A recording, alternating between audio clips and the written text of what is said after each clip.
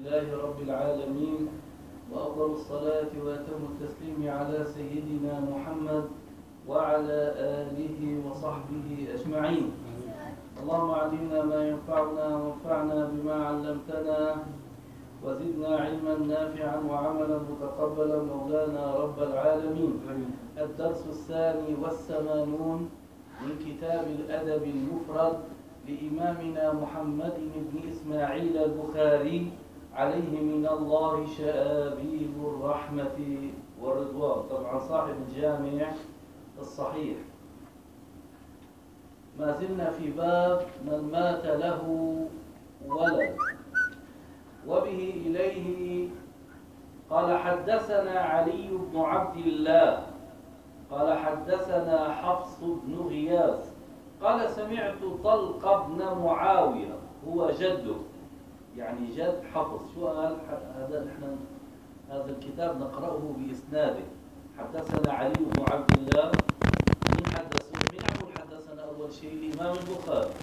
حدثنا علي بن عبد الله. قال يعني علي بن عبد الله حدثنا حفص بن غياث.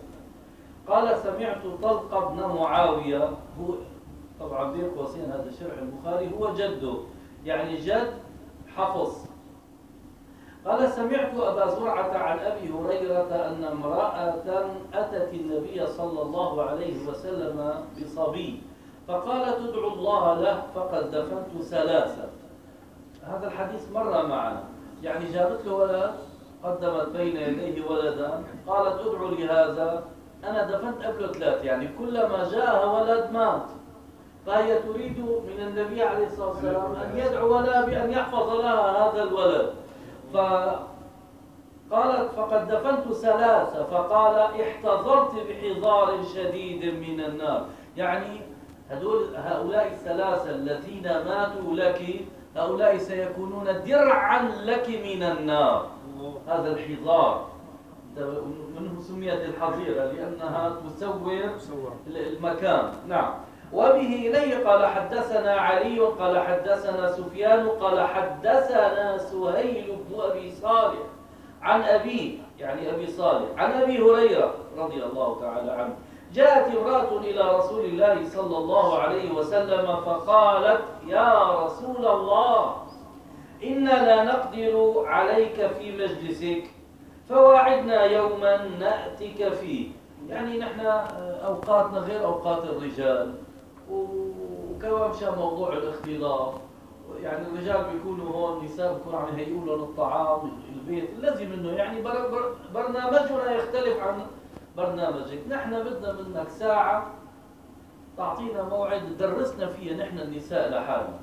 قالت فقالت يا رسول الله إنا لا نقدر عليك في مجلسك فواعدنا يوما نأتيك فيه.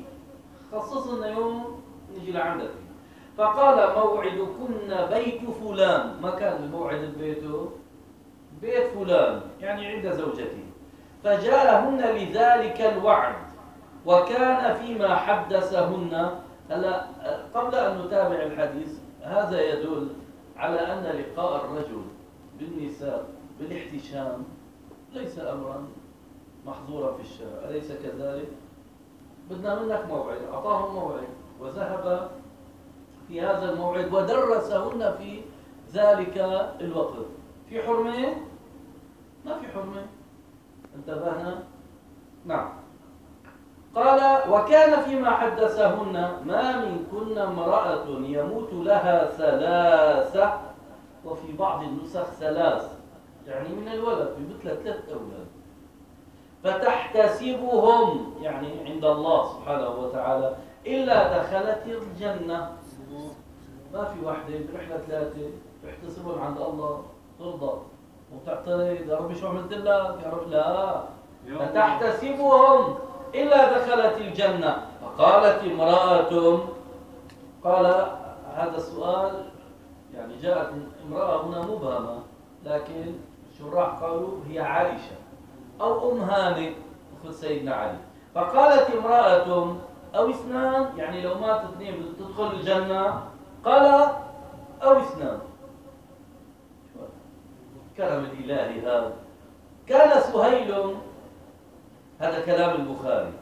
قال كان سهيل يتشدد في الحديث ويحفظ ولم يكن أحد يقدر أن يكتب عنده لأن هذا الحديث رواية من؟